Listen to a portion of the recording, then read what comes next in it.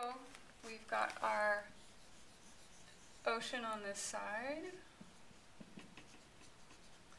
And if you're a plover in LA, you've got a lot of housing on this side.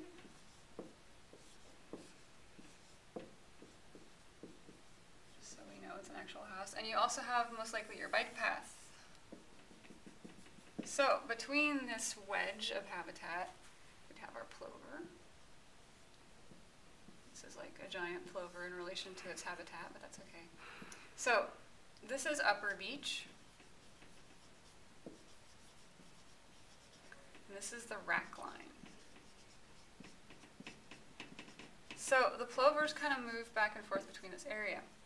And what they're doing, and they, our plover needs an eye. Um, what they're doing is they're feeding on the invertebrates that eat all that kelp that gets washed up.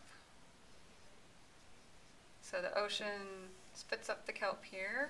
So it's all along this rack line. And these are the decomposers of the system. So they're eating kelp. And the, the plover is actually the predator. So it's eating all these little decomposers. Um, and then for nesting, they need to go to the upper beach. So you would just see them sitting like this on the upper beach. Nearly invisible. So nesting and roosting, they need to get away from that tide line and where the wet sand is, and they're going to be more in this upper beach area, and that's the exact same spot that people like to put their umbrellas and their coolers and their radios that people used to have. Um, and you know, you got a lot of people like running through the area, so the plovers all scatter.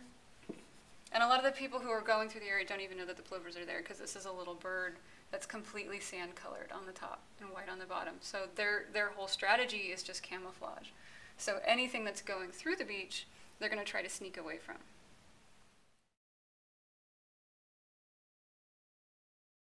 So I think living in Los Angeles, I've got a lot of options, but my first pick would be director David Lynch um, because I would love to hear what he has to say while birding and what associations he'd have with birds as we went along. And then I'd love to see our bird walk show up in a dream sequence in a feature film.